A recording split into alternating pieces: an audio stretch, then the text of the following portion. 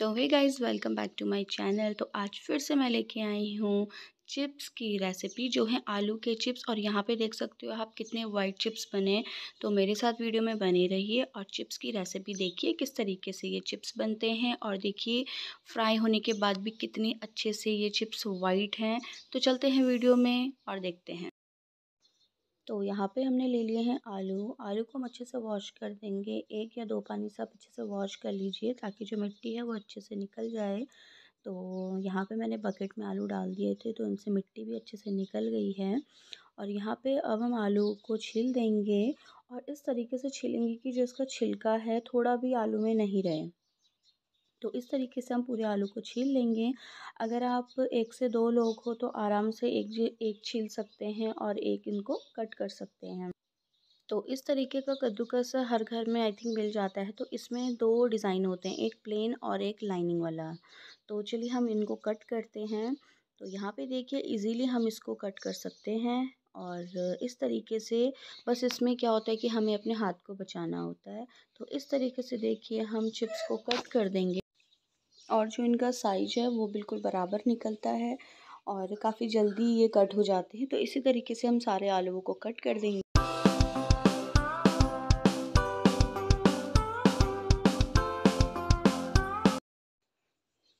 तो यहाँ पे देखिए कितने अच्छे से कट हुआ है, ना ज़्यादा पतला है, ना ज़्यादा मोटा है और इसको अब मैं डाल दूँगी। एक बकेट में हम साफ़ पानी लेंगे, उसमें हम इसको डाल देंगे। और अब मैं लाइनिंग वाली साइड कट करके दिखाती हूँ किस तरीके से ये निकल के आता है।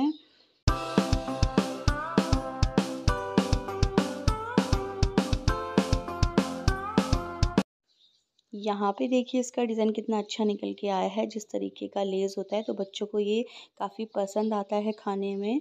तो चलिए बाकी सारों आलूओं को इसी तरीके से काट लेते हैं।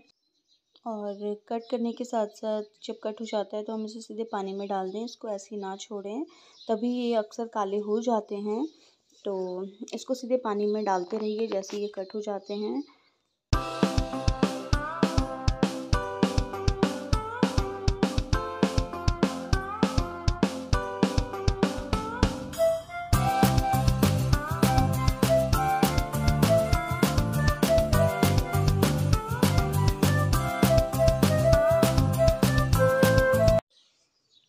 यहाँ पे हम आलू को वॉश कर लेंगे। वॉश करने के लिए हमें दो से तीन बार साफ़ पानी में इसको वॉश कर देना है।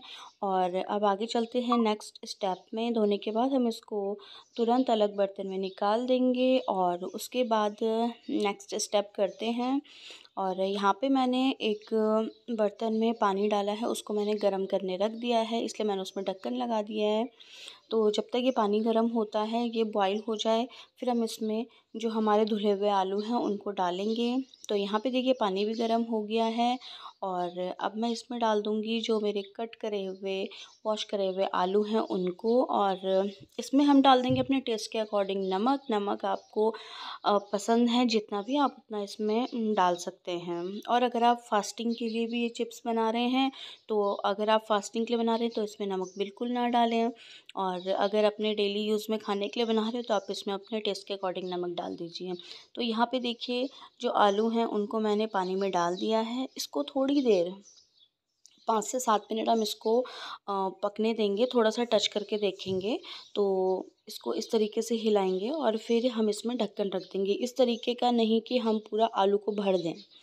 आलू के साथ स्पेस होना चाहिए थोड़ा तो थोड़ा पानी ऊपर होना चाहिए, उस तरीके का हम इसमें आलू डाल देंगे।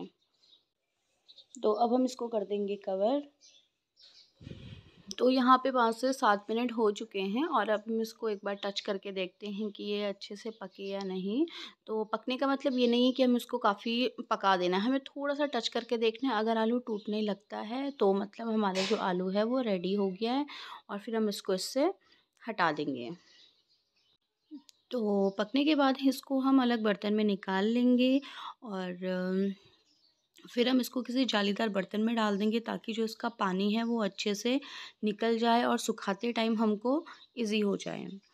तो देखिए इस तरीके से हमारे आलू जो पके हुए हैं उनको हम निकाल रहे हैं और जो इसको हम डाल देंगे नेट वाले किसी बर्तन में।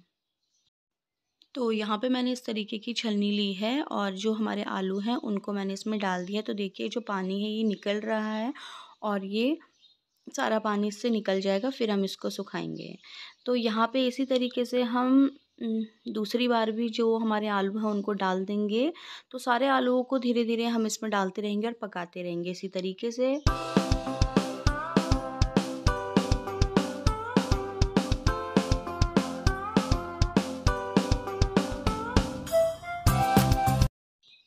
तो यहाँ पे हमारे जितने भी आलू थे, सारे हमारे पक्के रेडी हो गए। बस अब इनको काम है तो इनको सुखाने का, जो कि हमारा है इसके बाद का नेक्स्ट स्टेप तो चलते हैं, इनको सुखाते हैं और देखिए आलू बिल्कुल अच्छे से पके हुए हैं और इससे ज़्यादा हमको नहीं पकाना है कि हलवा बन जाए इनका। तो इतना ही हमको इसको पकाना है तो चलते हैं इनको छत में लेके। तो हम लोग आ गए हैं छत में और छत में क्या है कि अब हमने बिछाई है चादर। तो सूती चादर कोई भी आप ले सकते हो और छत पे बिछा सकते हो और तो इसमें क्या है कि जल्दी आलू सूख भी जाएँगे हमारे। तो चलिए इनके ऊपर हम आलूओं को सुखा देंगे अलग अलग करके एक एक आलू को हम निकाल के इसमें रख देंगे।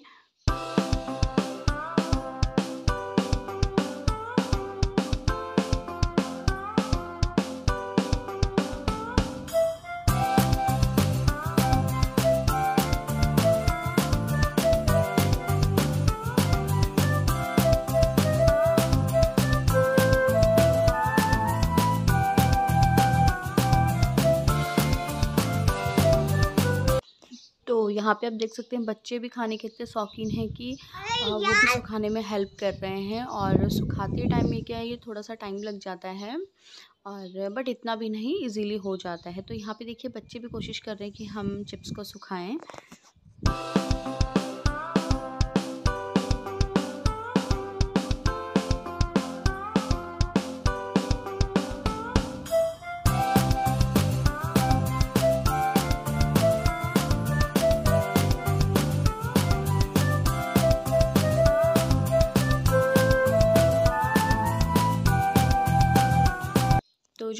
आलू हैं हम हमने उनको इस तरीके से सुखा दिया है। एक एक करके हमने इसको डाला है और इसको जब तक धूप है, शाम तक इसको रहने देते हैं। और अब शाम भी हो गई है तो चिप्स जो हैं, मैं उनको नीचे लेके आ गई हूँ। तो देखिए, आप इनकी आवाज़ से ही आइडिया लगा सकते हो कि कितने क्रंची लग रहे हैं, देखिए। तो यहाँ पे देखिए ये सूख गए हैं और काफ़ी अच्छे सूखे हैं और बिल्कुल वाइट लग रहे हैं। बस अब इनको नेक्स्ट डे की एक धूप और दिखानी है और फिर हमारे चिप्स बन के बिल्कुल रेडी है। मैं आपको आगे दिखाती हूँ। तो यहाँ पे देखिए फ्रेंड्स चिप्स बिल्कुल रेडी हैं। दूसरे दिन की धूप लगाने के बाद भी देखिए चिप्स का कलर बिल्कुल वाइट है ब्लैक नहीं हुआ है। मैं आपको फ्राई करके भी इनको दिखाऊँगी किस तरीके का ये होते हैं। तो देखिए काफ़ी सुंदर दिख रहे हैं दिखने में।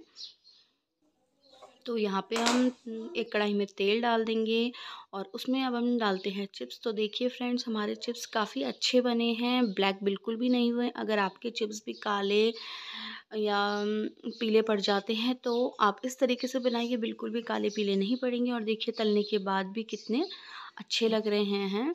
तो आप भी इस तरीके का चिप्स बनाइए घर में ही। तो फ्रेंड्स, अगर आपको मेरी वीडियो पसंद आई तो लाइक करें। अगर आपने सब्सक्राइब नहीं किया अभी तक तो सब्सक्राइब करिए और ज़्यादा से ज़्यादा शेयर करिए।